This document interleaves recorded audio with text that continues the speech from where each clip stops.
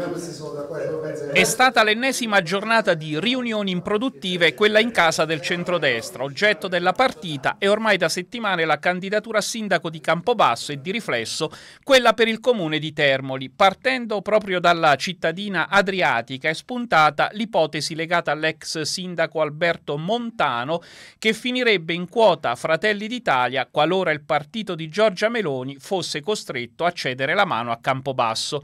Appare tuttavia improbabile che il presidente della regione Roberti rinunci ad un proprio uomo in casa propria. Quindi, ritornando al via come nel gioco del Monopoli, se Termoli significa Roberti e quindi Forza Italia, nel capoluogo di regione si riapre la partita per Fratelli d'Italia.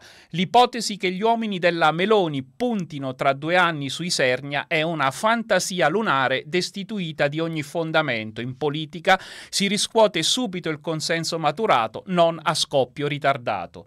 Il rompicapo quindi potrebbe essere risolto per Fratelli d'Italia solo a Roma direttamente da Giorgia Meloni tramite l'ufficiale di collegamento con il territorio Giovanni Donzelli, responsabile nazionale dell'organizzazione del partito.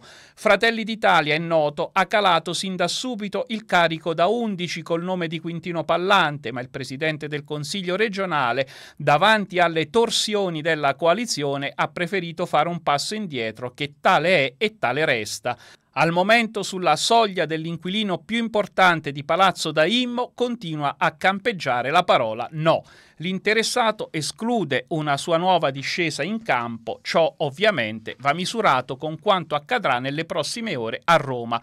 Qualora venisse stabilito che sarà la bandiera di Fratelli d'Italia quella piantata dal centrodestra su Campobasso, da Roma verrebbe ancora una volta l'indicazione sul nome di Quintino Pallante. Sugli altri versanti è praticamente sparita l'ipotesi Gianluca Cefaratti in quota Lega e per quello che riguarda Forza Italia l'ipotesi ipotesi circolata, quella di Nicola Cavaliere, è l'equivalente di una ipotesi di scuola.